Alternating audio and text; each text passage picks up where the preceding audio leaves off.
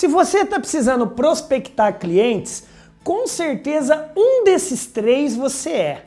Anote aí, porque dependendo qual você está sendo, pode estar tá te trazendo resultados bons ou não muito bons. O primeiro tipo de vendedor, o perfil de vendedor que vai prospectar é o farmer. O que é o farmer? Também chamado, né, em inglês, esse nome chique, fazendeiro, também chamado cuidador. Qual que é o perfil do vendedor na prospecção farmer? Geralmente esse cara trabalha em grandes empresas e ele faz vendas complexas no chamado business to business, no B2B. Por isso que é uma venda que demora, de cauda longa, é uma venda complexa porque você vai precisar negociar com várias pessoas lá dentro da empresa e ela não vai ser a curto prazo. Então, esse perfil desse vendedor que está prospectando é o farmer. Você se daria bem ou você está dando resultado trabalhando nesse perfil?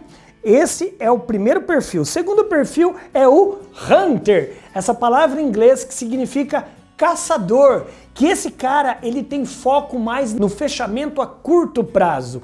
Você que trabalha geralmente no varejo, você que é corretor de imóveis, você vende roupa, você vende cosméticos, você vende alimento, você vende é, loja de, de setores, ou você trabalha em qualquer representação, muitas vezes no varejo, você tem um perfil muito mais de meta dada, meta cumprida. Então a venda ela é mais curta, então você foca mais o que? No transacional, é toma lá, dá cá. Diferente do primeiro, que é o relacional, que demora mais o relacionamento. E o terceiro tipo de, é, de tipo de vendedor na prospecção, rufem os tambores, rufem os tambores, por favor. É o terceiro tipo é esse aqui, ó, é o tirador de pedido. Tirador de pedido, André? Mas eu já estudei que esse cara sumiu, que não existe mais. Você que pensa, na teoria aqui bonitinho no vídeo é uma coisa, mas no mercado aí fora você infelizmente ainda vê muito esse cara que tá o quê? Só preocupado com as próprias dores dele e ele não está preocupado com as dores do cliente.